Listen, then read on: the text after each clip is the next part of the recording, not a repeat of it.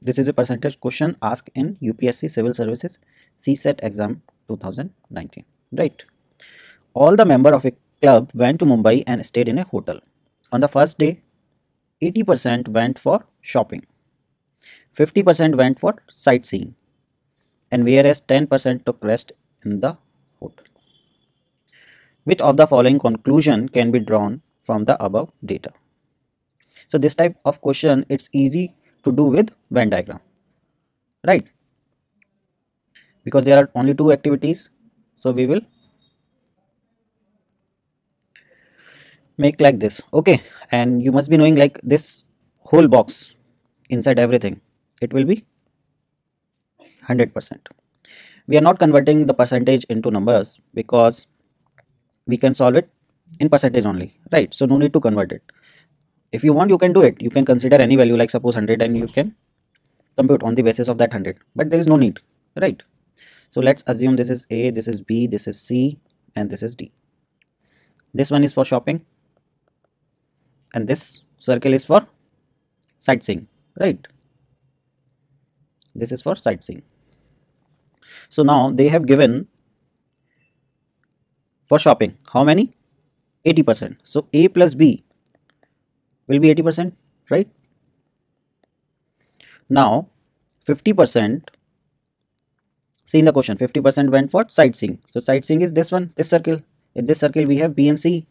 So, B plus C will be equal to 50%.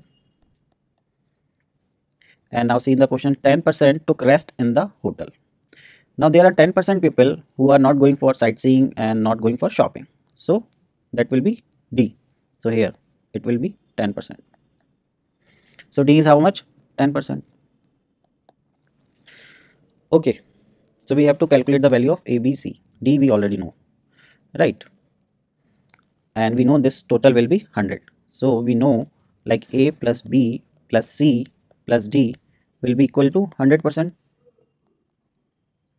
Right. A plus B we know how much?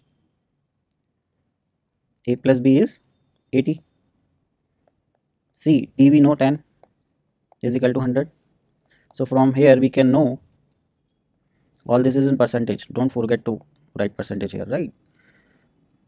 So c will be is equal to 100 percent minus 90 percent. So it will be 10 percent. Okay. So in percentage we can do addition and deletion right?